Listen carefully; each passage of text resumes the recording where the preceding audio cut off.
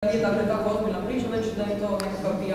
dakle ja siguran sam, siguran sam da na, e, nisam nikakav stručnjak, ali sam siguran da na e, toj bespilotnoj letjelici nije bila bomba težine 120 kg, a čak ni 40 kao što je ovaj kasnije rečeno. Uvjeren sam uvjeren sam u to jer e, bi ta eksplozija i ono što se događalo sigurno bi to e, čuli gotovo svi građani grada Zagreba ako bi se radilo o tim količinama eksploziva. Tako da vrijeme je da prestanu Znači i predsjednik vlade i predsjednik države uznemiravati hrvatske građane, pustimo dakle neka istraga odradi,